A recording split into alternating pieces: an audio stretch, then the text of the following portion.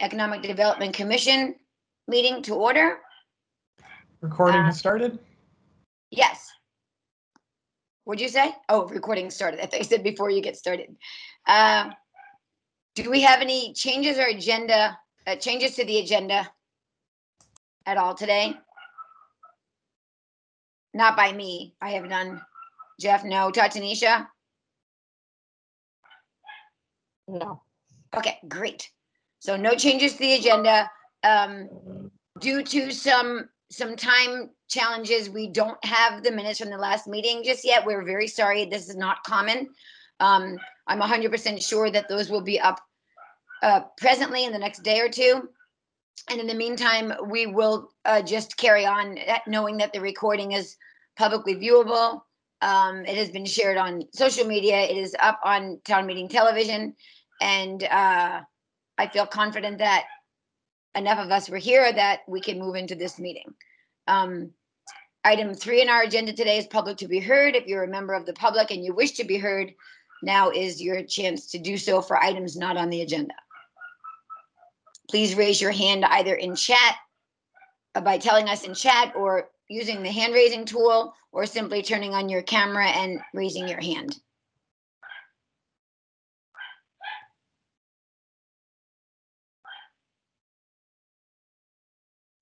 Yes, Gabrielle Smith, please, um, welcome and, and, and go right ahead. I just want to quickly note to everyone who may not realize uh, on the commission and in the public uh, that I am uh, a housing commissioner. I'm on the Essex Housing Commission. I'm not here in that formal capacity, but we do try to sometimes come into other meetings and um, hear what other commissions are doing. So that is, uh, just want to make sure you all were aware of my role. Thank you. Thanks, Gabrielle, for your constant dedication to community and for being on the Housing Commission. And for being here today. If there are any other members of the public that would like to be heard for items not on the agenda, now is the time. Going once. Going twice. The dog is trying to get in on this, but I'm going to say no to him. Great. Okay, moving on to item four uh, cannabis discussion. Um, I have, uh, the Economic Development Commission via myself, Annie Cooper, has invited Mariah Sanderson, uh, the Coalition Director for the Burlington Partnership for Healthy Prevention Works Vermont, to present some information that is not commonly presented at an Economic Development Commission meeting.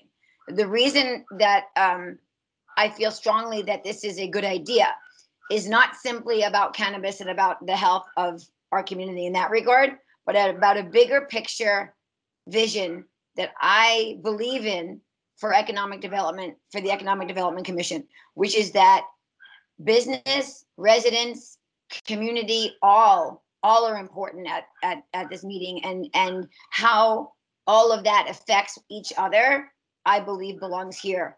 Um, at our at our table for discussion. So uh, that being said, I uh, welcome and invite Mariah Flynn Sanderson, village resident, um, to uh, share with us uh, some information. Mariah, will you do me a favor? Will you do a better job than I have in introducing yourself because I'm stumbling a little bit. Sure, I'm happy to. And am I going to be able to uh, share the presentation or will someone else do that?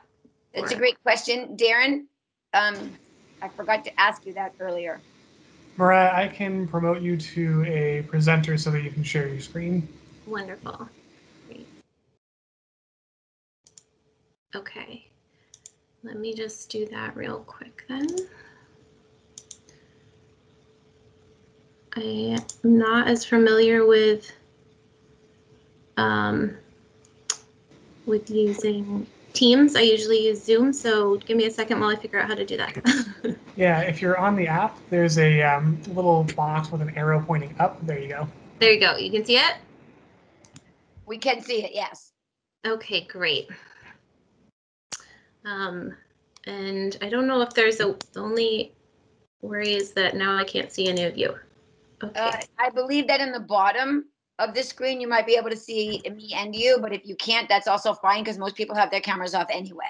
okay, great. Well, I can see you all, but if, so maybe just talk and tell me if you have a question or want me to stop about something. Sure. Because it is, I, I understand it's very awkward to uh, suddenly be alone in a room talking to yourself about material that you're trying to share to others. So I, I get that and we will, um, we will let you know as you go if we want to ask a question. Sounds great. And let me let, sorry, Maria, to interrupt you. Anyone in, um, on the commission, I see Brian is here now. If we, uh, Brian, Jeff, um, or Tatanisha, uh, and myself, well, raise a hand if you, uh, want to comment. Do, actually, just, spe- if you're on the commission, just speak up during the presentation if you want to ask Mariah something. Um, and I, I extend the same, the same privilege to, um, all of staff and Sam.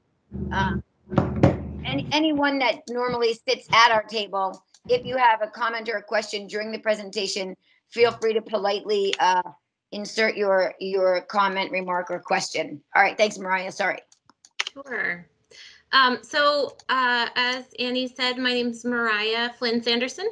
Um, and I uh, am the coalition director for the Burlington Partnership for a Healthy Community. So I work on public health and substance misuse prevention in Burlington. Um, but this is the community that I live in. So um, I have a vested interest in this community, which is why Annie um, invited me to come speak here today. Um, and I, you know, I come from the world of public health, so that'll be what I talk about, and you can think about how that's relevant to the work that you're doing in this commission. Um, and I'm sorry, I was typing this up re- and realized I just kind of naturally write Essex Junction a lot because that's where I live, but I meant I meant to say Essex here. Um, and I use uh, she/her pronouns, just if that's helpful for anyone. Um, so now I just have to figure out how to switch to the next slide. So I always start with a couple of disclosures when I do a presentation, just so you know. So as I said, I'm the coalition director for Burlington Partnership for a Healthy Community. I'm also on a couple of statewide and regional um, groups working on substance misuse prevention. So there's one at the county level called the Chittenden Prevention Network and one at the state level called Prevention Works Vermont. I'm part of both of those. And then I live here um, in the village and I have two teenagers that are at ADL and EHS. Um, and I'm also in my uh, personal life part a steering committee member of a grassroots organization called Smart Approaches to Marijuana Vermont. Um, so I'm just I'm gonna try to go quickly because I know we don't we don't have a ton of time. I could talk about this kind of issue around um, promotion of legal substances and how it impacts the community and public health probably for a couple of hours. Um, so there's way more to say than I've said I'll say here today. And um, you know, if there's ever any more information, I'm happy to um, answer questions or come back again or whatever else is useful. But I'll just quickly kind of note a few things about Act 64, which is the uh, law that passed this year to legalize commercial sales of cannabis and how that impacts the conversation today, and then share a few data points, very few, um, and talk about risk and protective factors for substance use at a community level, and then like at a municipal level, what we can do to reduce substance use misuse. So I always think it's helpful to make sure that everybody's on the same page when we're using language about what we mean. So um, I get um, in my field, the words cannabis and marijuana are often used interchangeably to mean the same thing, and in some ways they do, but um, uh, they are. It is the definition is slightly different. So cannabis is the plant, right? All the products that are derived from the cannabis plant, and there's a lot of different things that come from that. And then marijuana refers to the parts or uh, the products or the plant um, that's usually the leaves and the flowers that contain the THC, the part that is the psychoactive component that gets people high. Um, and um, in our state and just in general, people are more um, are you replacing marijuana with cannabis with THC or some other way to delineate um, the psychoactive components of cannabis just because there's a, um, some racial history connected to use of the word marijuana, but you'll see it interused interchangeably a lot. Um, and it's important to note that in Act 164, that law I mentioned, um, the legislature mandated that marijuana be changed to cannabis in all the laws. So in that, for the purpose of that, um, they're referring to anything that contains more than 0.0% THC. Just an FYI, Maria, this is Yeah. really helpful and beneficial and we're all listening. Uh, thank you so much. Keep going. Sure. And I tend to, just to FYI, I tend to um, make my slides a little text heavy. So I'm going to gloss over a few things just in the interest of time, but you have the slides and the purpose of making them text heavy is so that you can refer back to them later too. So um, so I might scoot over stuff that and you're like, oh, there's more on there, but um, it's just so you can have it for later. Great, So thank you so. CBD, which you might have seen kind of popping up in stores across Vermont, is uh, stands for cannabidiol. Um, it's one of the components in cannabis. Um, it's usually derived from the hemp plant, and um, it by itself, it does not usually cause a high like THC. Um, so CBD uh, is allowed to be sold in stores in Vermont if it contains less than 0.0 percent. 03% of the THC, like I mentioned. And the thing I always um, I think there's a lot of confusion around this product. I don't want to get into that today, but um, but I do want to kind of note here that CBD is not currently regulated for safety and purity by the Food and Drug Administration. So there's no necessarily, you don't know that there's 0.3% or less of active THC in it. Um, and when they've done some tests around that, they found that um, that oftentimes there are things in there that are not on the label. So it's just to note.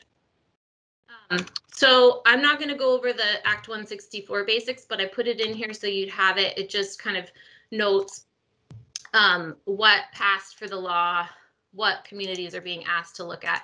And one of the things I wanted to kind of just key to is that that um, that top one, which is what I think the reason for this discussion today is that retail sales of cannabis will be allowed in communities in Vermont that vote to opt into that.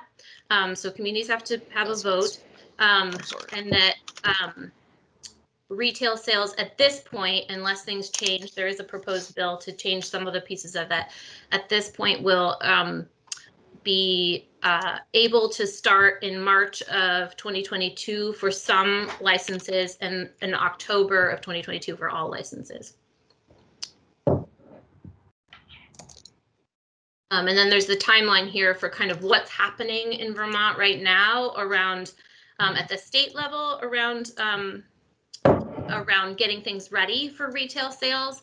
Um, and kind of the thing to note about that is that there's a cannabis control board that's been um, put in place that is working on uh, additional rules and regulations that will happen for cannabis. So there's a lot that's still unknown, and I think that's important for communities to know especially if you're thinking about whether or not to have a vote on this in the community.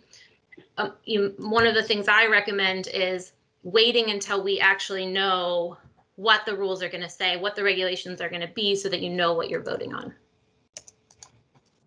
Um, and so why I care, why I think um, communities should care about access to cannabis at a our, our level and how we think about the policy for that is that um, we we already Yeah. have a cannabis use rate, uh, um, cannabis use problem among our youth in our state. So um, substance use rates for Vermont high school teens have been dropping over the last decade, um, except for marijuana or cannabis. And in here, I'm using the word marijuana and cannabis interchangeably. Be, yeah. I'm so sorry to interrupt you. I, I apologize. Um, anyone that has their microphone on, uh, please turn it off. I can see that Irene Renner's microphone on is on. I can see. Um, oh, thank you. That's great. Mariah, I'm so sorry that I then made noise to interrupt you. no, no worries. Happy to enter anytime. Oh, there go the dogs. Sorry. Um, so, uh, so here I'm using the word marijuana because that is what uh, the the survey where the state collected this information. That's the language they use. So, um, so in Vermont, our marijuana use rates increased the last time youth were surveyed about it. Um, from two uh, from I'm sorry, 24% in 2017 to 27% in 2019, and I actually pulled out the data for Essex High School too. So we'll take a look at that in a little bit. Um, but this is something to be thinking about. Our, our cannabis use rates, our, our marijuana use rates are already increasing. So how are we as a community going to address that and think about that to support our kids in Essex? Um, and I should note that even though uh, substance use rates in Vermont and other areas around tobacco use and um, and alcohol use have been dropping, Vermont has historically, for quite a long time, had the highest uh, substance use rates for youth in the nation for the for alcohol, tobacco, and cannabis. Um, so even though our rates are dropping, we're still much higher than a lot of other states, and it's something to be paying attention to. Um, so this is just to just quick visual to show you that this is just Chittenden County data. I didn't have time to pull out Essex, but um, our uh, rates of kids in high school who binge drink in the past 30 days, who said they binge drink in the past 30 days, which is to have uh, either four or five um, drinks within a, a one uh, block of time, um, have been dropping, which is great. And then this is our uh, Essex High School YRBS data I just pulled out from uh, the data that's online. You can just see the blue line is alcohol. So it shows that um, in Essex, actually, alcohol use went down, was going down, and then did a little uptick just recently. Um, and cannabis, which is the green line, has been, or marijuana use has been, um, uh, we were already at a slightly higher rate. So we're now kind of matching the state rate. Um, and you can see one of the other things to be thinking about as a community is that vaping has become a real challenge for Vermont youth. Um, so the first time we started asking questions on this survey in the state about electronic tobacco use or vaping um, was in 2015. So we only have data starting there, but it um, stead like drastic increase very fast. Normally these uh, rates of use change at a very slow increments and um, vaping is one of those things that did not follow that same trajectory. Um, so the big thing to know kind of in terms of thinking about substance misuse prevention or how to help uh, kids make healthy choices is that delaying the age of first use is really important or delaying uh, kids using while their brains are still developing is the way I think about it. So um, a lot of people talk about um, addiction or substance use disorder is really an adolescent disease nine um, 90% of the people who who develop a substance use disorder started using before they were 18 so if you can just get kids to wait until those brains are fully developed it's likely that they'll never develop a problem so that's something to be thinking about when you think about policy at a local level um, and how we support kids is what can we do to help encourage them to delay use for as long as possible. And the way we talk about that in, in Burlington, where I do work, is to say, make the healthy choice the easy choice. And, and that's for everyone, not just for kids. Mariah, excuse Yeah. me. Um, this is Raj. Um, one of the trustees. I, can you just talk a little bit about, or I don't know if we have time, but um, how this relates to other issues youth might be experiencing. Um, you know, my understanding from the YRBS data and from other research is that you know students that are participating in these behaviors are also um, more likely to experience depression and other risky sexual behaviors. Um, they're more often uh, these impacts are disproportionate on um, minorities and, and students who are LGBTQ.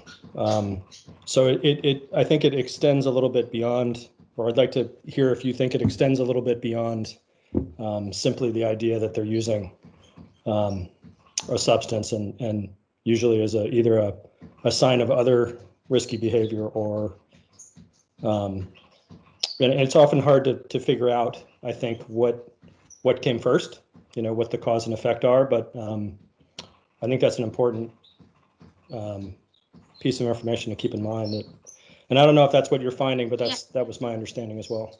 Absolutely, that's a really important point. Um, that that that substance use is usually mixed up with a whole bunch of other risky behaviors for kids, and you know, and and I'm talking about this in terms of developing a substance use disorder, but you can also think about it in terms of if you want to create healthy kids who thrive in their future and have future success. Um, you know, supporting them along a variety of different um, ways preventing substance use is kind of one piece of that puzzle. It's not all the pieces, um, but it is connected to things like um, risk for depression and other uh, mental health issues. Um, and you're right um, that there's um, are so again I I work with the Burlington data all the time, and I've only just recently started looking at our Essex data. But um, so I'll talk about the state and and maybe folks can delve into the Essex data, but um, at the in Vermont and in most communities, our students who are identifying as LGBT, um, which is the way that um, the questions are asked on the survey, uh, uh, have higher um, rates of kind of risky behaviors, particularly substance use, than students who are not identifying as LGBT. Um, and and that the var- that varies a little bit for um, student for our BIPOC students. So um, oftentimes the BIPOC students are um, are reporting um, higher rates of struggling with mental health issues and um, lower kind of assets in the community, so lower rates of feeling like they matter to adults in the community. But um, that doesn't always correlate to substance use. Sometimes we see that happen in other things. Um, so it's a little it's a little bit different there. But um, but yes, this does impact our um, some of our more vulnerable populations more. So it's something to be thinking about if you're thinking about trying to create a community where everyone thrives. Um, you know, looking at how you promote substances really impacts that or how So you're, yeah, so if you, if you have a population that may be already at risk or struggling, um, access is an important, um, issue, basically. Yes, and we can talk more about this, but you know, historically too, um, and I don't know how this will play out in Essex, but in Burlington, one of the things we look at is um, our lower income neighborhoods end up bearing the brunt, brunt of retail because they end up having more retailers in the lower income neighborhoods. So kids who live in those neighborhoods see more advertisements, see more um, promotion of substance use than kids who who don't. And so um, that's something to be thinking about. How are we creating a community that doesn't inadvertently or advertently target uh, vulnerable youth as well? I see Owiso's hand up. Just dive dive in there, Owiso. Excuse me, Mariah. Go ahead. Hi, hi Mariah. This is Owiso Makuku. I'm the um, interim community development director for the town. Hi. Oops. And I had a question because I was just listening to the NPR piece on the Sacklers yesterday, and I wondered what um what role opiates. I mean, you didn't give any data on on pills and opiates or anything in the community, and I wonder under what category those may have fallen in your um in your graph. Yeah, so there's a reason I left those out, and um, it's not because opiate use isn't a problem and it isn't something to be looking at. It's because for you know I focused this presentation on youth, and for youth, the place where they usually start substance use is not with opiates. So it's with um, cannabis, tobacco, and alcohol. That's usually the first use for um, or for most people. Um, so when you think about opiate use, it's really um, uh, kind of the second tier. Uh, students who are already using or already struggling with problems with these substances then often graduate too. So uh, I like to think about, I think people talk about what's the gateway drug? What's the drug that like leads to all of their substance use? And there is no one gateway drug, but these three kind of are the gateway drug. These three are the the ones that lead to other future problems for youth. So it's kind of that same reason. Um, so I didn't focus on opiates and we could look at it, but the rates of opiate use are much smaller than. Um, Oh no, and I didn't want I we didn't need to focus on it. I just wondered um Yeah. because it has been so much in the media over the past few years and of it's course a really important point uh, that you bring up is that it is the one that gets talked about the most because sometimes the, you know, for folks who um, who develop a substance use problem with opiates, it ends up being devastating, right? And so, and there's so many consequences for the individuals and the families and the community. Um, so we talk about it a lot, but in terms of the larger impact, these three actually have much more financial impact on communities or on our state. We end up putting a lot of resources um, to deal with the consequences of this use more than the other. Um, I'm going to move on just in the interest of time, but but it is an important point to think about. We often put a there's a, often a lot of pr- attention on opiates, but um, but um, it's good to think about all of the substances in our community and how they're impacting health. Um, so uh, so investing in prevention, and again, this you can think about how this re- is relevant for your commission, but um, saves money, which is usually common sense for most people, but um, this is some data from the health department saying that every dollar we invest in prevention saves 10 to 18 dollars that we might end up later having to spend on things like healthcare, criminal justice, um, or lost productivity at work. Um, and if you think about, um, uh, some people talk about this in terms of uh, alcohol and tobacco and marijuana and opioids and the other drugs in the community kind of turn up the heat for kids and prevention strategies, things that you do at a community level can turn down that temperature and keep things from boiling over for kids. It's just a way to kind of think about it. Um, Vermont uses the, this is the Vermont prevention model, also taken from the Vermont Department of Health.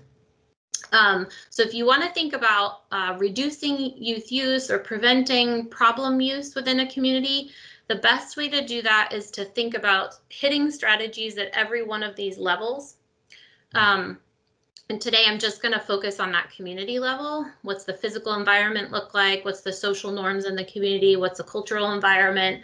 Um, but but true prevention or true public health models, this is really a public health model, um, don't aren't um, are only effective if you're really supporting people at all of these levels.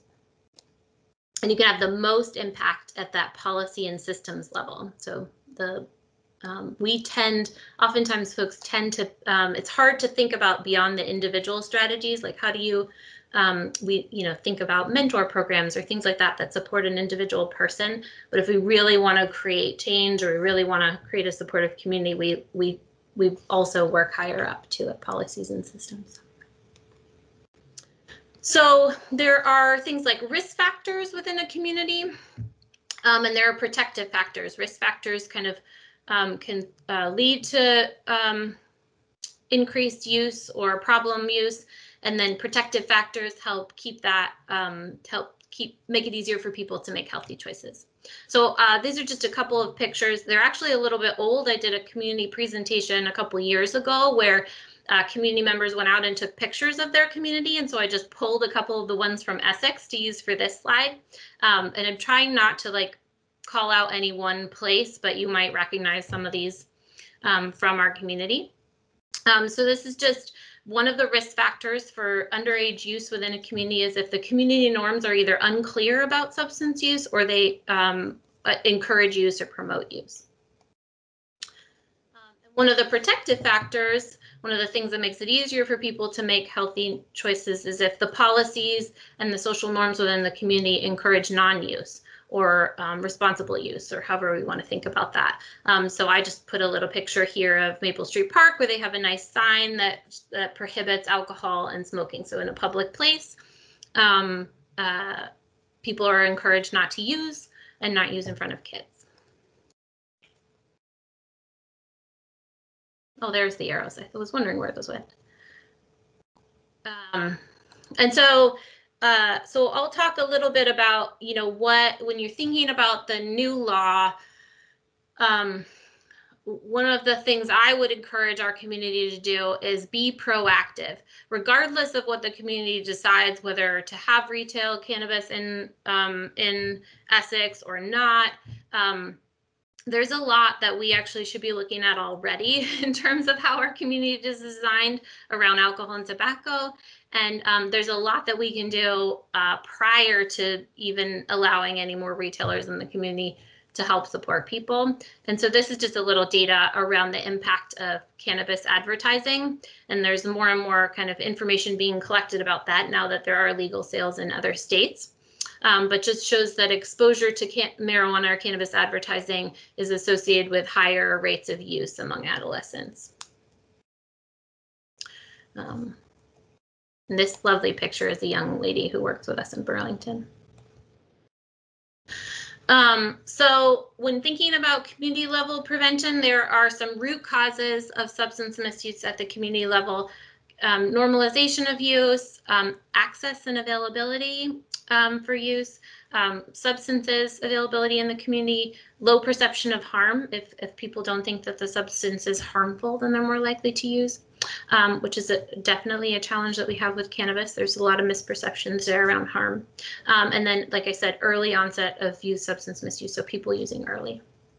And some of the things that you can do to prevent youth initiation in use is create um, buffers for adult only product sales near places like schools and other places kids gather. So if you think about a lot of these strategies are really just about um, not having kids constantly bombarded with advertising and messaging that promotes use um, or uh, you know being in constantly being in situations where adults are using or using excessively so thinking about our our community events, how often do they promote alcohol? Um, or uh, are they or are they smoke free?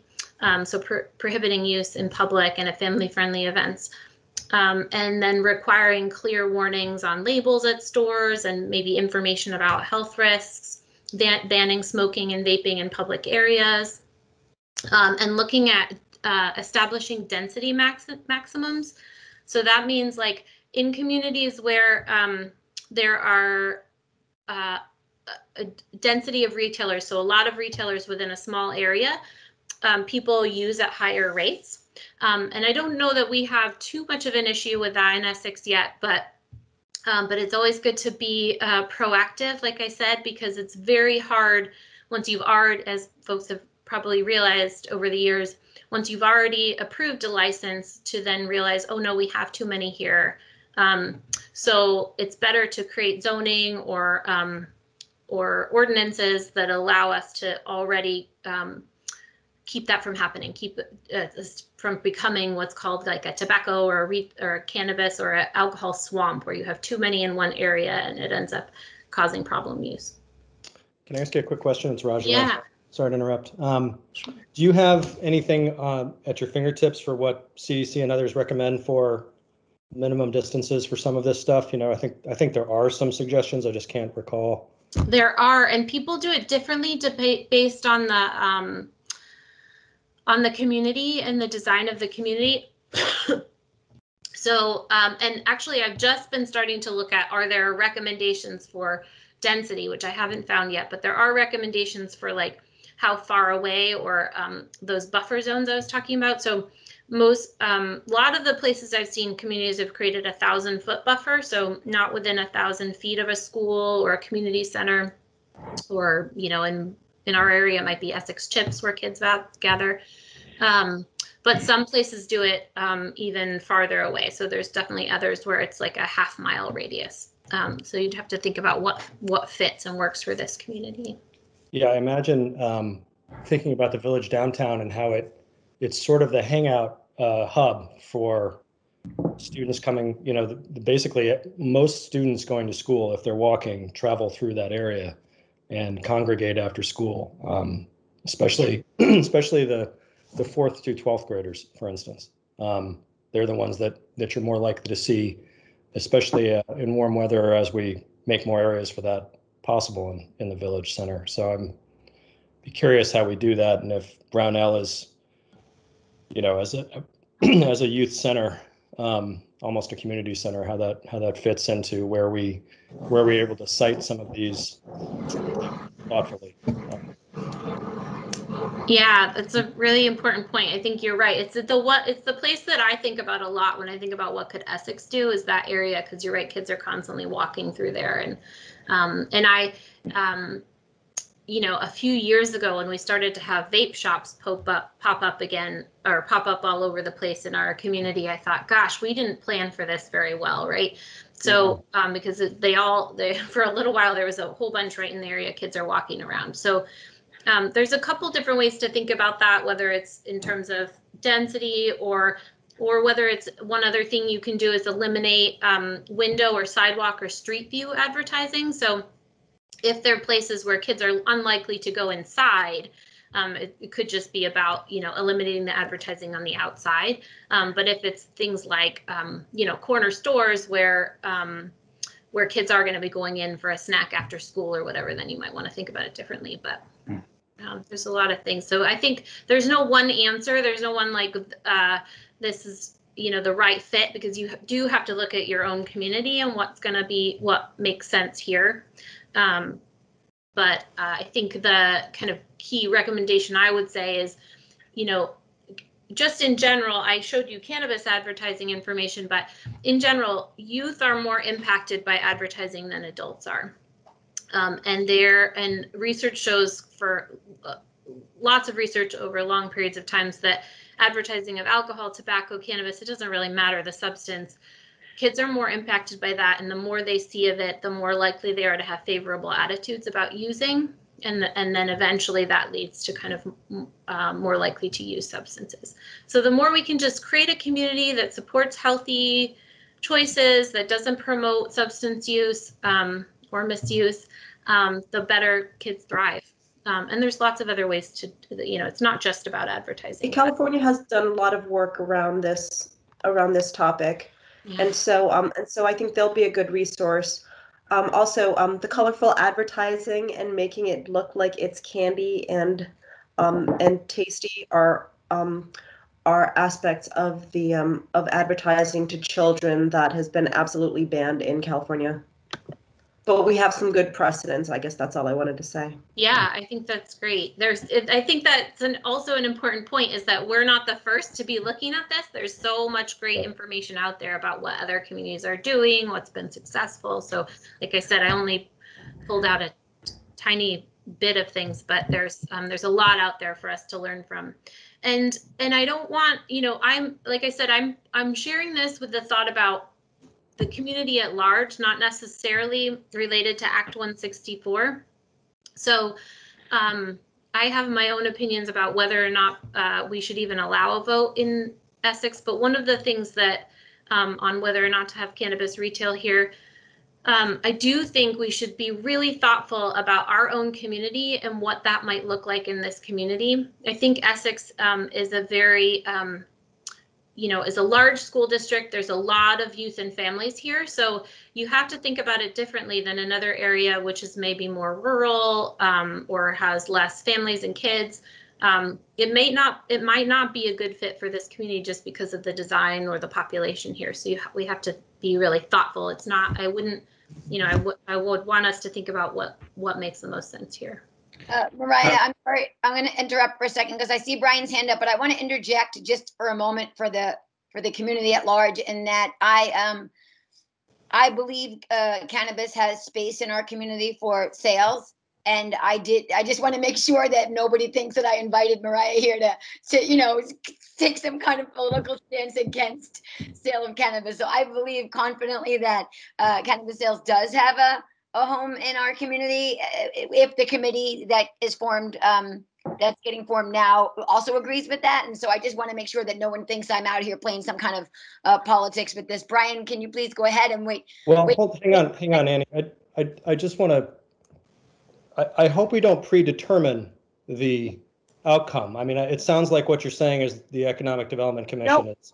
I Nope. mean, you know, these are important things to consider and I, I, raj know, i'm only saying that as a person i did not personally invite mariah here to set some kind of political stage. I am not speaking for the economic development commission at all. But i do believe that this conversation just look at you and me talking about it right now. This conversation belongs at a business table. It belongs at a like absolutely this this kind of conversation must take place for our community to decide and choose what to do next which is why the committee is being formed which is where this conversation goes next away from the edc I guess, I guess my only point to that, and I appreciate that, as always, Annie, I do, um, is that I, I don't want that view necessarily to be labeled a political view. oh Uh, fair It's science, it's public health, it's the things we need to be considering first and foremost before we do any business. And so I'm sensitive to the, to the idea that that would be misconstrued as a political opinion when really we're talking about science. okay so- i agree i agree with you and my apologies because now i better understand our conversation from last night and i agree with you at 100% And I'm, Um, I'm not saying that I'm against it. I just want to make sure that it's well thought out. I think like everyone else. So right that's all I'm saying. And I see that pe- people are wanting to make sure that we have someone other than Mariah speaking, and I agree, which is where that happens next at the committee table. So for us, it is not common at the Economic Development Commission to have a public health speaker. And the reason I thought that that was a novel idea is that uh, without this look, I don't know that the, I, I think the committee needs to have this in mind as they move forward. And I think that from a business standpoint, we don't frequently invite public health to a conversation and we should. Can I point out, Agreed. this is Sam. Can Yeah. I just point out as you're discussing, uh, does it fit or not fit? That currently there's legislation in front, uh, a bill in front of our state legislature that would say if a community does not vote for or against uh, retail cannabis sales, um, it's assumed then that the community uh, will, uh, not it's, the community will then be assumed a yes vote and cannabis can be sold in that community. So unless you have a, a vote um, before the set date in the bill, they're going to make, the bill would make the decision for you. Sure. Right. The goal of the, the cannabis study committee that we're putting together um, internally from of the different boards and committees and relevant departments like police um, is to gather information to present to the public before a vote is held in November, I believe. Right. Right. Great. the goal. Right. Um, Great. Yes, and and to that vein, for one second, I, what I want to do right now is we never got to Brian, and then uh, Mariah. I'm not sure how much is left of your presentation, but I I feel a lot of hunger for conversation that I want to open the floor to.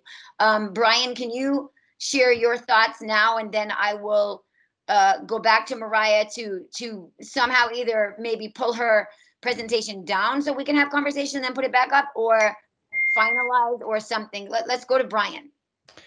I just had a quick question. I'm uh, sensitive to Mariah's uh, uh, co- the, the line item on, on the previous slide about uh, density.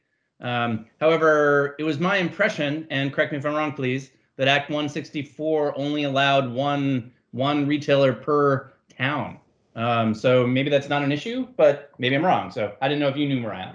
Uh, that is uh, incorrect. Okay. so there's, I think what, what you might be thinking about is that, like, like I said, there's retailers that will be allowed in March of 2022, and then all retailers allowed in October of 2022. Um, and in March, it's just a few, um, uh, uh, uh, a few that qualify for that. So that might be where that's coming in. Like there, there won't be as many then. Uh-huh. Um, but Right. but I think the so this is actually one of my last slides. There's just one Yeah. that's just resources. Mariah, what I want to do next is that if there's any strong feelings about our conversation, they, those strong feelings need to come at me because I invited you here and I want to make sure that you don't end up in a conversation that's not anything that has to do with you. All you have done is come here and present information at my invitation. So Well, please Wrap- I mean, please, I'm happy to answer questions and I don't mind strong conversation. I'm happy with that. and I'm totally fine. Okay. And like I said, I'm I'm addressing this from a public health perspective. So you all have to think about that from a lot Sure. of other perspectives, right? Let's So um, so from a public health perspective, there's considerations to think about. From a prevention perspective, there's considerations to think about. And then um, in the interest of time, Maria, in the interest of time, what I'd like to do, and I'm sorry for being so bold. I know I sound a little rude. What I'd like to do is have you finish that up, and then I, and then we'll pull the presentation slide down, and then I will bring the meeting back to me, and I will control hands raised and conversation directed to me. sure, And we'll have you answer questions as they get asked of you. Good? absolutely. Thank you. So, I mean, the only thing I want to say is make sure that public health is part of the conversation, or you can end up with unintended consequences for some of Yeah. these policy decisions if you don't have people at the table who who can kind of guide some of that. Um, and then the other is there's so many great resources to help in, make informed conversations and informed thought about this. And I just put a few of them here, but there's a lot more, just like toolkits for communities. Um, a lot of the like this Vermont League of Cities and Towns to- did a really comprehensive overview of what exactly we can do in Vermont. Um, so there's lots out there to help with this conversation. Great. Um, the first thing I'd like to do is thank you because your uh, willingness to come, even when you asked me why. So, just for the public knowledge, you even said to me, Do I belong at this meeting with this presentation? I said yes. And if nothing else happens this morning, but that people get into strong conversation, that is exactly what civic engagement is. And we, you and I have done a great job of um, uh, creating that uh, that conversation right here today. So what I'd like to do now, thank you for pulling that presentation down, is thank you so much, Mariah, for your time, your energy, and your patience. Um, anyone that has questions for Mariah or for anyone else, I'd like them to go through me. And I also want to make sure that I invite, um, uh, I don't know if, uh, what I want to do before I move to hands is ask Lori Houghton, uh, our rep, sorry, Lori, I see I surprised you. Ask you, Lori, if you have anything to say right now before I move on to other questions. No, the only thing I would say is the reference to the March 22nd and the reference um, to the vote. That Senate, that bill came out of Senate. It did pass out of Senate. It um, is not currently being addressed in the in the House. So I don't know what the chances are of it passing out this year. Just to give everyone an update on that. And then just in general, I'm here, you know, um, to help answer questions as whatever committees are formed or whatever direction you take. Please use me as a resource. Great, thank you so much, Lori. So to be clear to everyone, the committee that's being formed is being formed by our community development team of town and village of Robin, uh, uh, uh, Owiso, Mc- Mc- sorry, Owiso, I panicked and said your name incorrectly, of Owiso and Robin. And um, the, the committee la- uh, sits in their hands with their decision making and the committee goes there to to have this discussion at a larger level. In the meantime, I'm really excited about the tension in the room because that is exactly what civic engagement is. Brian Sheldon, I would like to go to Brian Armstrong unless you as Actually, a just a quick member- correction. Yes. It originates from the, from the manager's office. Thank you, Owiso, for that clarification. I was trying to put it towards where it went and I didn't state that Yeah. clearly. So no, to that's restate- fine. To restate with Owiso's correct correction, it originates with our manager's office, our unified manager's office. Uh, Brian Sheldon, may I go to Brian Armstrong first, or would you like to speak first? No, I, uh, my hand is up from previously. Please move on. Oh, great. Brian Armstrong, I believe you're the next hand up. Good morning, and thank you everyone for the time today, as well as the uh, fierce conversation. I'm a born and raised Essex Junction uh, former resident. I now live in South Burlington. You know, so I am very aware of definitely the challenges. I've got uh, three stepchildren that I've raised, and I think a couple things that we may get lost. The availability of marijuana, for better or for worse, is actually you know already exists at a high level. With the legalization allow people to grow. I think there's also a natural chance that you're going to see not legal products but homegrown products start to increase. You know, for the record, as many of you may know, I also uh, shareholder in Magic Man, which is a CBD company at the Essex Experience. And I just want to state that our hope and our intent is that Essex will move forward to this, but we want to contribute in a positive, responsible way. I'd be very open to have either excise tax towards substance control. My concern is that if the town doesn't opt in, we're going to live in the same cloud of a myth, you know, that just because it's illegal means the access is going to stay out. I'd rather see a town that I've been born and raised in and that I love get to the point where they have more proactive controls for community members and help any movements forward fund the actual substance control. In researching this morning, there's actually actually some indications from I think it was the Newport Academy that indicated that oddly enough legalization uh, had a saw a decrease in some use of youth in California and Washington. Now, for the record, I've seen conflicting statements to that from the NIH. So uh, my hope is that we'll be able to move forward in a way that recognizes what's currently happening in our community and better fund substance control, not through the foolishness of banning it, that it's not going to happen in the community. Uh, uh, before I call on someone else, I would like to say that honestly, literally, this is what civic engagement is. Literally, this is what we're supposed to be doing here. Yes, please, Lori Houghton. Hi, thanks. I, I actually do have to go. Um, so first I want to say thank you for this important conversation, but I also want to say that in the bill that in the in the act, so in I think I think it's Mar Ryan knows better than I. Um, I remember it as S52, but whatever the act is, um, it does have a substantial part of the retail going to a substance prevention fund. That was actually one of the reasons why the bill was delayed in passage because there were many, many of us that pushed to ensure that some of the revenues, um, I forget the exact amount, are going. And and quite frankly, it's not enough. It won't be enough if this, um, you know, if more retail shops open, but it is a start. So, but thank you for this conversation. I apologize. I do have to go. Thank you for being here and thank you for being present to it. And we really appreciate you. Uh, Brian, is your hand up? Uh, and you're welcome to want to speak again, uh, or is it still up from before? It actually took it down, but I will add as well. One of the reasons why I've and I own several businesses or part owners of several businesses. One of the reasons why I'm passionate about this is I believe through small businesses, we can provide more economic opportunity to all classes of the community and create a more vibrant community through better sustained, you know, economic opportunities. And my, you know, we've already in our short time, and this is CBD only, we've created two or three jobs to the community already.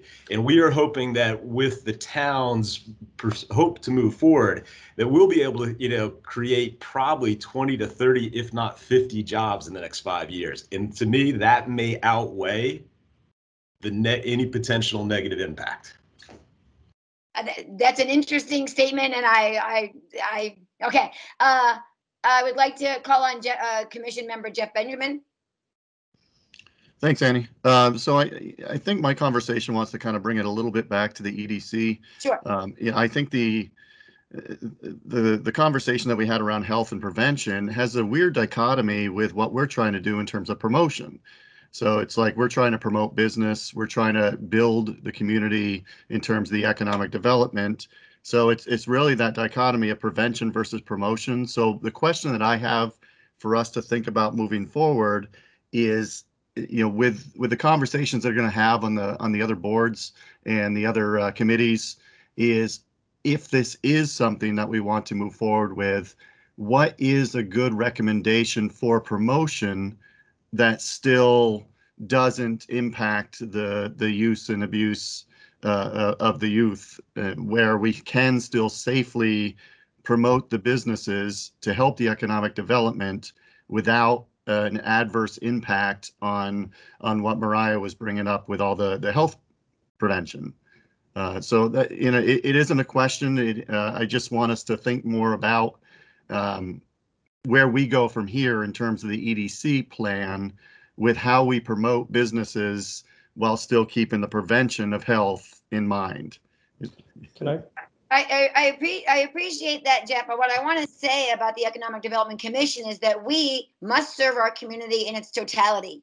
We don't serve only the businesses. We don't. I, I believe that the Economic Development Commission needs to look at our entire community and how all business impacts our community. That conversation is wide open all the time. In my opinion, it doesn't happen enough.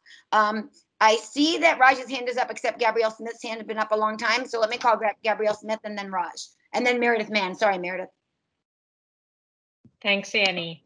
Um, I have a question, uh, Annie, if I could, that if you could direct it to Mariah, and then I have a comment. Sure. Um, so, um, I've worked in, Mariah and I know each other because I've worked in the field of prevention for a very long time. So, um, it's my, my question is, I tend to group, I know this is going to sound a little bit, uh, anyway, I tend to group tobacco in with highly addictive substances. I think tobacco is the way that it's uh,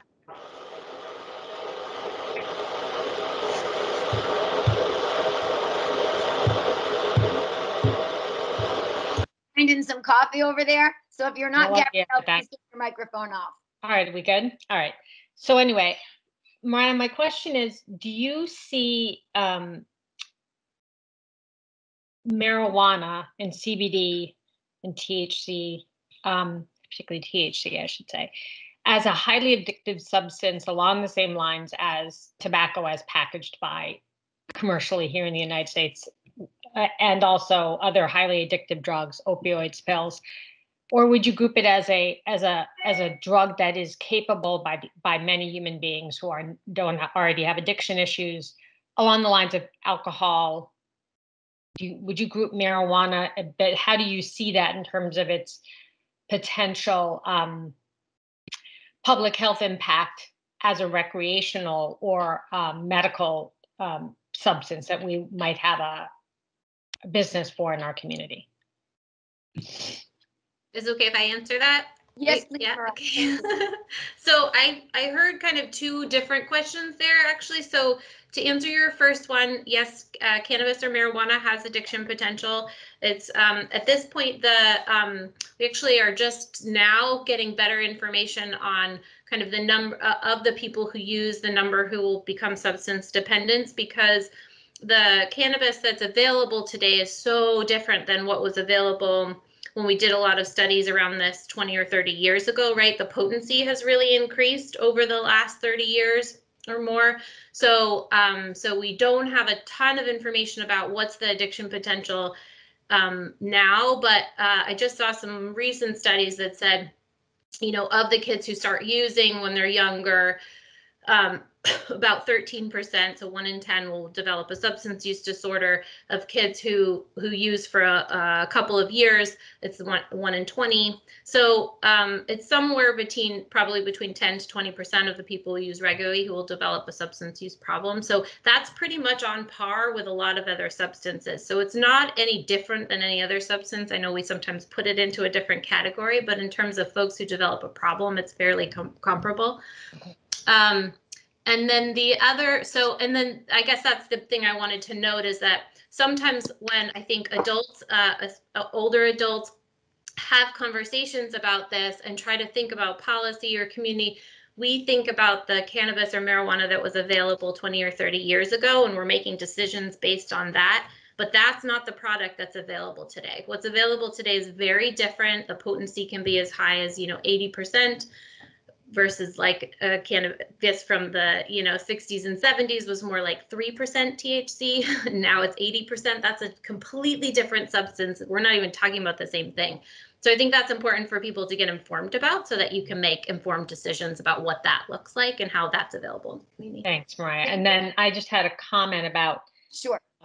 about this uh, to that whether we have an outlet and where we have that outlet are both economic development and public health. You you can't separate those two things. Agreed. I I- was here when Up in Smoke came in. I was not here. I, I was here working for the school district when Up in Smoke came in. And I, I was very vocal about that, about where that, where that business was cited. I mean, that you know, which I'm just, it's not there anymore. Um, Yeah. but And I think, uh, to be fair, to be fair Right. to our community, current businesses such as, uh, uh, and I want, I, think I, I think Meredith's man, hand been up so long that I got to call on her before you, Raj. But Gabrielle, to be fair to our businesses in our community now, is that it's a vastly different business than that was. And also, you know, yeah, anyway, I could. anyway, I just want to finish if that's Yes. okay. Sorry, So please, the reason sorry. why I bring up, I bring that up is because it is, it, Mariah mentioned it, it is very important where we talk about, and I say this also for, you know, with Raj present, and also for our select board, wherever we might cite this business is very important. It is as important as whether we have it, as where it is cited, as where we um, set up, you know, if we have ordinances, we can set up so that we are um, making it, making it a place where it, um, where it is going to have a minimal, where we're minimizing the negative public health impact, especially for youth wellness in balance with the economic development opportunity and impact. Thank you.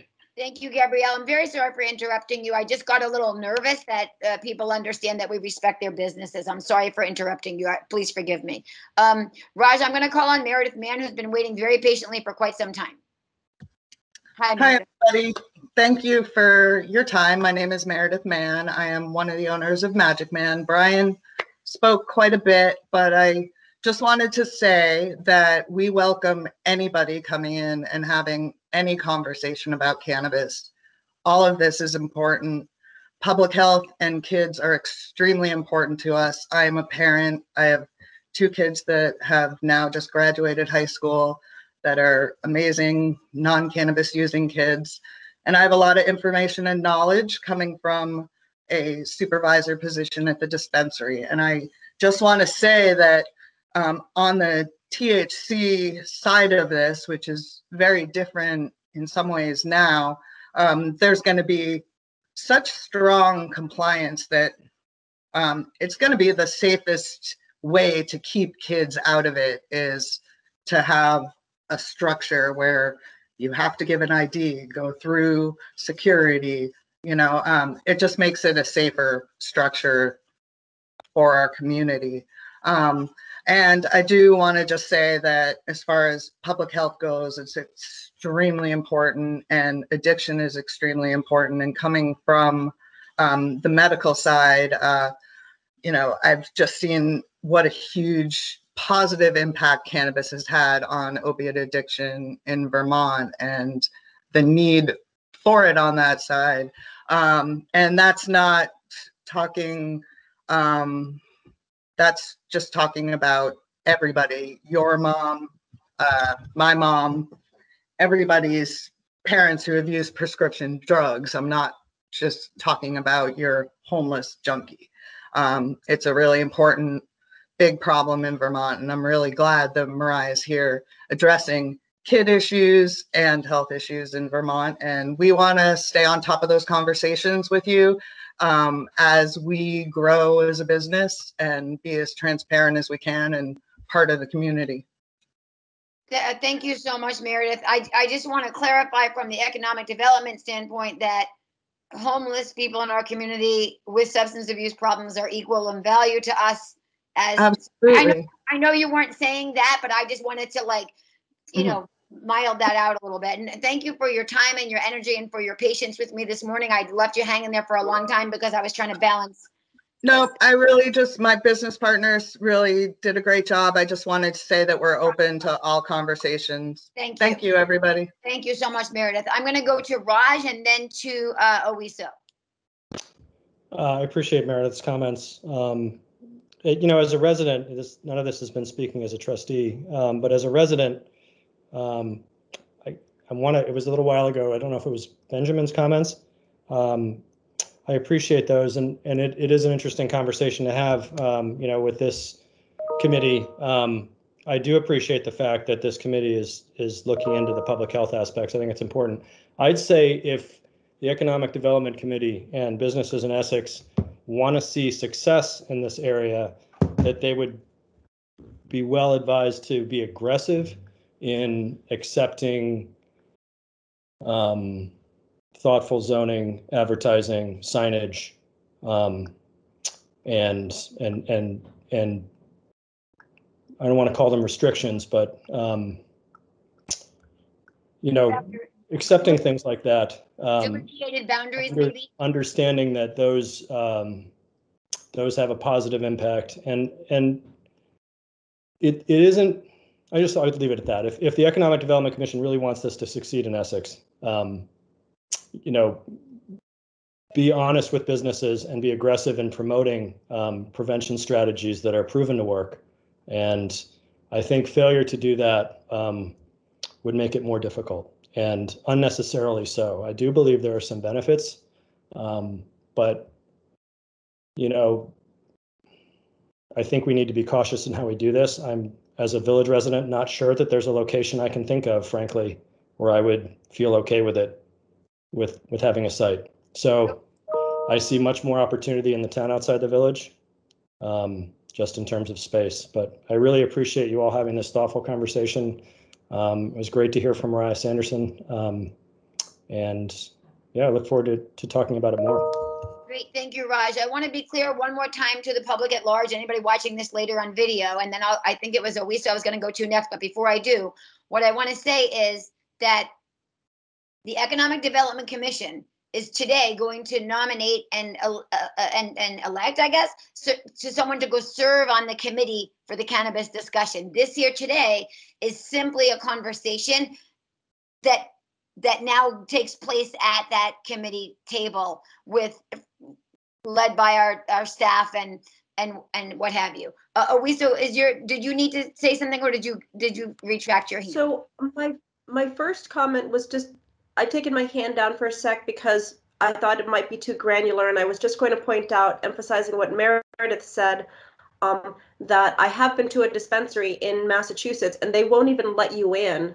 If you're just a casual browser, you're carded. You're, I mean, just about fingerprinted down there. But um, but the but the the the pack the fact is is that it's not a place where like you can even get in if you're underage. And so that sort of protection to get into this space might be something that we want to consider. And the other thing that I was going to say is that on the committee, I mean, I hadn't been thinking much about the, the cannabis committee other than the fact that we're going to be studying the topic. But, you know, frankly, I think that rather than debate whether or not we should or should not be having cannabis in Essex. I think that the committee needs to focus on the regulations and um, and all of the um, all of the controls that we want to have in place should the voters decide in November to legalize it. I mean, if if I guess if they're not going to vote, if, if it if it goes down, then there's no point in discussing it. And so what we really need to focus on as a committee is the mechanisms that we need in place to keep kids safe, to understand where places would locate, to have a larger sense of of um, of what regulatory measures we need in place. I, I, I hear And I'm not speaking for the committee because the committee doesn't exist. I I understand. Perspective that, again, we can spend a lot of time debating the issue when the voters are the ones who are going to choose. Right. So I think that we need to be, uh, we need to stay at a certain, um, a certain level where providing complete information to the community about what, Right. what they need to consider and what we need to consider as a community to move, uh, Right. to Which is- create a full understanding of the issue.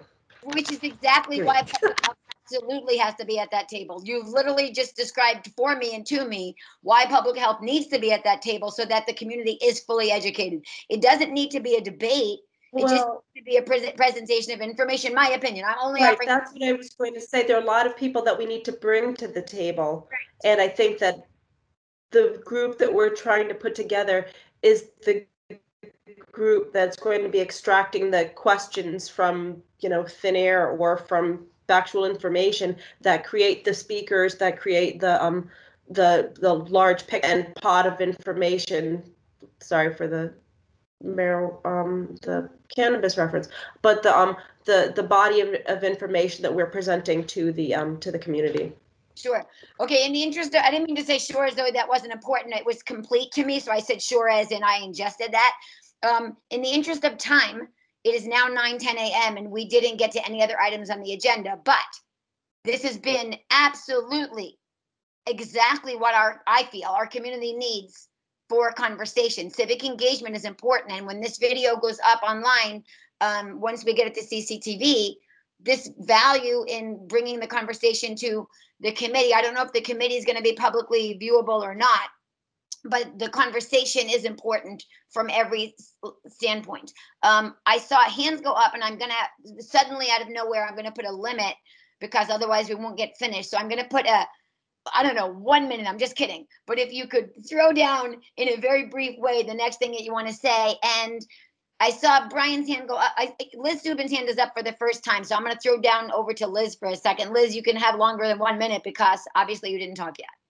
I don't need longer than one minute, but thank you. I just wanted to say that um, our community has a has a robust history of having really hard conversations, and we know how to do that, and we know how to do that well. And I would just encourage this uh, group to stay involved. Of course, you all are, and to make sure that when we get to that point, that we are having facilitated really um, informed and really um, intentional conversations with the community about all that this means. And I just wanted to um, thank you all for having this. And again, just to shout out that uh, Magic Man, the business, and the owner, uh, uh, it's a wealth of information over there. If there's any question that you have about anything related to this um, topic, stop in there and talk. The, the you will be amazed at what you find out. Um, so I would encourage everyone to visit the business and to um, continue to stay engaged in this community in this conversation. Great, thank you, Liz. And what I, what I want to reiterate, just to pull out from what you've all, all the important things that you've just said, is that it sounds like what you're saying is, and I want to just throw it because I think it's so important, is that as the committee finishes and finalizes what it's going to offer to our community for decision making, that we have at that point a community-wide conversation that invites this kind of powerful, tension-filled and I don't mean tension as in fighting. I mean tension as in as in as in shining, as in as in as in really crafting and growing something that has value. And so this this kind of civic engagement has the most value. And so I'm hearing you say that after the committee finishes its work, which I believe uh, will be ro- robust also in, in conversation, that the community gets engaged at the level that creates more opportunity for learning from both what Mariah is talking about and what um, Brian Armstrong is talking about and what Jeff Benjamin is saying, so that the totality of what we decide upon when we vote is revealed to the most people that we can reveal it to. Um, now that I've said all that, um, Yeah, I- just- I just add one thing to that, Annie, and I would just encourage us not to wait till after. I think it's really important that the community be involved while the conversations are happening and while the study committee is getting going. Because the questions that, that we all have as community members can really inform a study committee that is working to try to. figure out what Absolutely. about. Absolutely. I would just please encourage us all to do this, um, not one after the other, but to do it collaboratively. Owiso, is it possible that these, that committee that gets formed, that you're forming now, is it possible, Owiso, that, that is on video like this is? Can that be a community-wide access so public can be heard? And is that possible for that committee? I don't see why not, but as I said, I would direct questions to the town manager's office because that is where this request or process originated. I didn't see Evan here and I don't see Greg, so I guess what I'll do is I'll send an email directly after this meeting to uh, Evan and Greg and, and, and present this as an idea because the fact that you are also on, I'm teary eyed right now. If, if, if the committee can be this open and, and, and people can have this conversation and be in disagreement, but towards an outcome that's for all, I think that's the healthiest way. Also, I agree with Liz and I see Owiso does. So that's really great. Owiso, I'll send that email. Thank you for being uh, c- courageously open to that, to being the case. Um, so I want to wrap up this conversation, not because it's not interesting, but because we could probably do this till midnight. Um, I'd like to, I'd like to ask Brian Armstrong and Meredith Mann to speak uh, briefly. I'm so sorry, not because I don't, uh, thank you. Go ahead, Brian.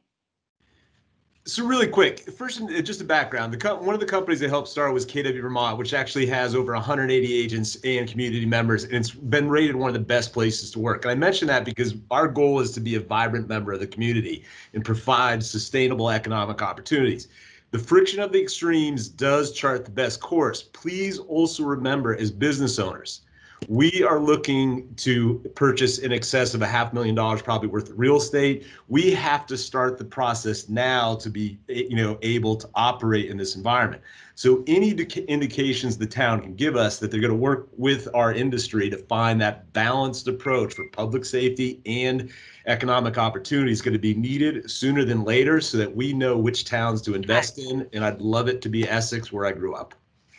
Uh, that is greatly and deeply appreciated. And uh, uh, if you if you don't mind, I would like to be really frank and say Uh, that literally that that Because Mariah, because Liz, Liz, uh, quick, Darren, mute Liz. She doesn't know she's on who she's talking to. Hurry! Did you get it?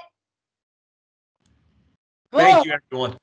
Uh, thank, thank you, Brian. And, and to Brian's point, uh, I, that is, that is why I feel that public health needs to be engaged in the discussion because yes, of course, of course we want jobs. Of course we want investment, of course. And I want to make sure that that, that that is balanced so that we're fair-minded for the totality of our community. Because yes, Brian, I agree. Absolutely. Invest in Essex. You know, we, we don't want, we don't not want that, you know, but we want to make sure that this particular conversation has a, a totality. Uh, uh, Meredith, did you, is Meredith Mann's hand back down now? Yeah, my mic, uh, my hand was up by accident. Oh, so- great, So thank I hadn't put it down, so I'm And- good and thank Thank you you. very much. And Meredith, you've been so patient because I saw some emails come through and I really appreciate your, your willingness to come to this meeting as, as, um, as a member of the public and to bring your voice to this conversation in the way that I had set it up for. And, uh, I, I really value that you were patient and thoughtful in your engagement with us and I really respect you for that. Thank you so much.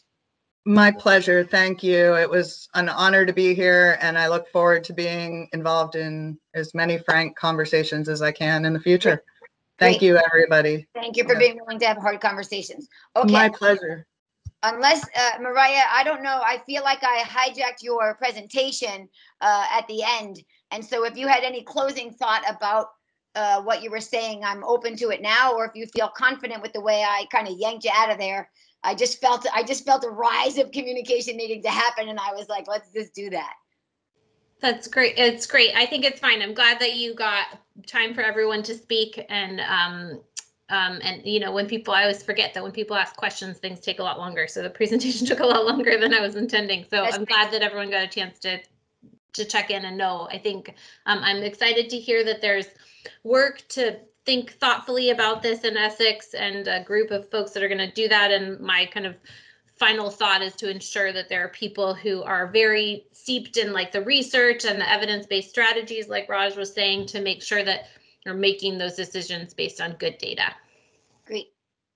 Um, thank you so much, and thank you for taking. I know that we only intended five minutes, and and and and we had. I think this has been great. Um, if anyone else has one last tidbit to put on this topic, I'm happy to have you do it. But with that, with then we have to nominate someone to the committee, and then have that conversation move on. And the Economic Development Commi- Development Commission will will post about.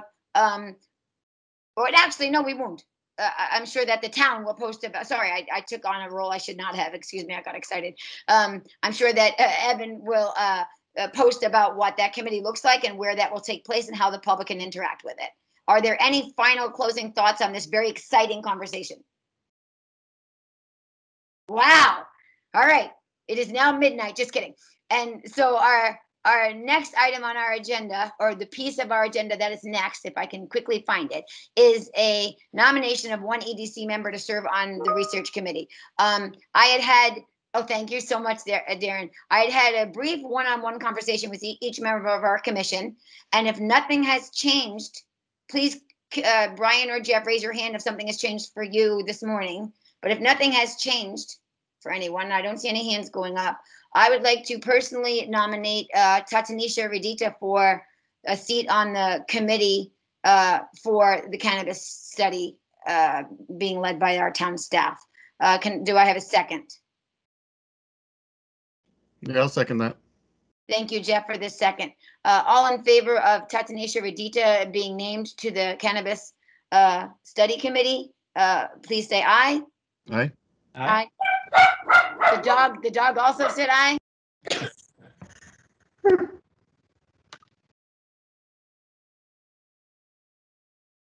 Can I have a, can I please have a verbal aye from each person? I, I'm saying aye.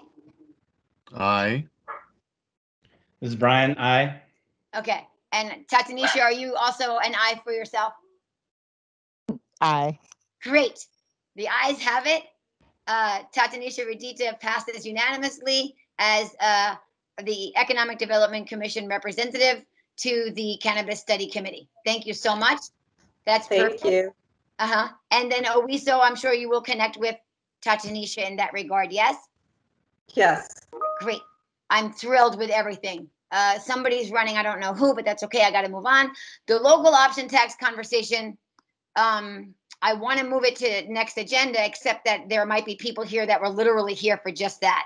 Um, can do, let, let me just take a little, a little navigation. If you are here only for the local option tax conversation and you feel very strongly that something you need to say about that has to happen today and cannot wait for two weeks from now, please raise your hand whether you're a member of our commission, the public, staff, or a guest. Oh, I could hug every single human being in this room right now. Oh, you all are beautiful people. I'm just giving it another second. Oh, I love every person in this room right now. Thank you for being willing to let this agenda be different than it had been put out as. So local option tax was our fifth item. We're going to move that. Is there, was there someone trying to talk? No. We're going to move local option tax discussion exactly as it is. Well, actually, I don't know. We're going to move local option tax item five to our next um, meeting two weeks from now, just in the interest of time. And number six of the interweaving Essex committees and commissions to our next item. Um, if we have an update from partners or staff that must happen today and cannot wait till next time, please someone raise your hand if there's an update that absolutely must happen today. Universe is working in my favor today, friends. Oh, I could hug you all again. Brian, I'm gonna look away for a second at the agenda. If you see a hand go up, please verbally let me know. Uh, the business contact list brief check-in We'll also, I'm just gonna move that automatically to the next agenda. Our next EDC meeting is Thursday, May sixth, twenty twenty-one. Um, and before I adjourn this meeting, I would like to thank every single person who even just came here to be present to this conversation and who showed up just because they heard about it. And civic engagement is the most valuable tool we have in our community. Please be civically engaged everywhere that you have interest. Um, is there anything else that anyone needs to offer to our meeting today? From anywhere, from public, from, Um, Annie, yes, this is Sam. Two weeks from today would be April 29th. thank you. So could you ex, clarify the next meeting? I, I really appreciate that because I forgot I did do that. So when I was, when I was creating the date for the next meeting, I understand that the Economic Development Commission meets the first and third Thursdays of a month. So when I looked at the calendar, that put us to the date I just stated. So is that date Thursday, May sixth, the correct one? Was I correct to decide that because it's first and third Thursday and it just so happened that it's not two weeks? Okay, great. Thank you, Sam. I appreciate you. So. Thank you. Uh-huh. The next meeting of the Economic Development Commission is not two weeks from today because the first and third Thursdays of a month don't always fall two weeks from each other. So due to that, the next, I'm correcting myself from earlier in this meeting, the next Economic Development Commission meeting is on Thursday, May 6th, 2021 at 8 a.m. However, please don't confuse the Economic Development Commission meetings with the Cannabis Study Committee because we are not that. So this was a launch for us sending one of our members to that committee table. The town manager will offer out information about that uh, cannabis study committee and how it can be publicly viewed and interacted with uh, in the near future. If you have any questions about that, please email our, our town uh, manager. Yeah, we good? Great. Anyone for last thoughts? Brian Armstrong, did, if you wanted to say something, I don't know why I'm just deciding that I don't know you that well to be asking you that. Okay, great. I was just reading your face. I don't know. All right. Uh, thank you all so much.